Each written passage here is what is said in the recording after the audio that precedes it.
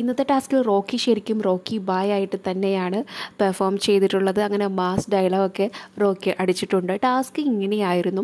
നിങ്ങളെ എങ്ങനെയായിരിക്കും പ്രേക്ഷകർ വിലയിരുത്തുന്നുണ്ടാവുക എന്നുള്ള നിങ്ങളുടെ സ്വന്തമായിട്ടുള്ള അഭിപ്രായം പറയാനായിട്ടായിരുന്നു ലാലേട്ടൻ പറഞ്ഞിട്ടുണ്ടായിരുന്നത്.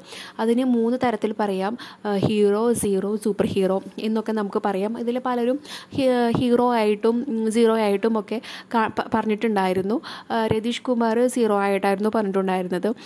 പിന്നെ ഗബ്രി ആണെങ്കിൽ പറഞ്ഞത് ഞാൻ ഹീറോ ആണെന്നാണ് പറഞ്ഞത്. എന്നാൽ ഗബ്രിയുടെ ഈ ഹീറോ എന്ന സ്റ്റേറ്റ്മെന്റിനെ റോക്കി എതിർക്കുകയായിരുന്നു. അതിനുള്ള കൃത്യമായ കാരണങ്ങൾ നിരത്തിക്കൊണ്ട് തന്നെയായിരുന്നു റോക്കി അത് പറഞ്ഞത്.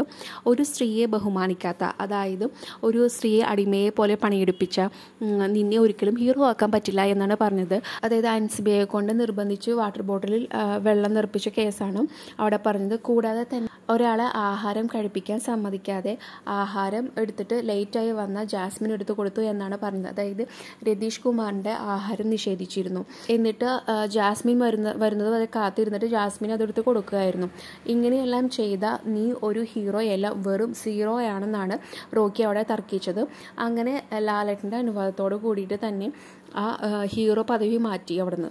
എങ്ങനെയാണ് ഗെയിം കളിക്കേണ്ടത്? റോക്കിക്ക് കിട്ടിയ അവസരം അത് കറക്റ്റായിട്ട് റോക്കി യൂട്ടിലൈസ് ചെയ്തു. കൂടാതെ ജാസ്മിനും ഗബ്രിയും മാറിയിരുന്ന് സംസാരിക്കാറുണ്ടായിരുന്നു. ആ കാര്യമെല്ലാം കറക്റ്റായിട്ട് ഇവിടെ റോക്കി പറഞ്ഞിട്ടുണ്ട്. അതായത് ഇനിയിപ്പോൾ ഇനിയിപ്പോൾ അതൊരു മത്സരാർത്ഥികളുടെ ഇടയിൽ തന്നെ അതൊരു ചർച്ചയാകും. ഇവർ തമ്മിൽ പ്രണയത്തിലാണോ എന്നുള്ള കാര്യമൊക്കെ എപ്പോഴും പലപ്പോഴും രാത്രിയിലൊക്കെ ഇവർ ഒറ്റയ്ക്കിരുന്ന് സംസാരിക്കാറുണ്ട്. നിങ്ങളുടെ അഭിപ്രായം കമന്റായി രേഖപ്പെടുത്താൻ മറക്കല്ലേ? കൂടുതൽ ബിഗ് ബോസ് ലൈവ് അപ്ഡേറ്റ്സിനും ഡെയിലി വോട്ടിങ്ങിനും പ്രൊമോയ്ക്കുമായി ഈ ചാനൽ സബ്സ്ക്രൈബ് ചെയ്യാൻ മറക്കല്ലേ?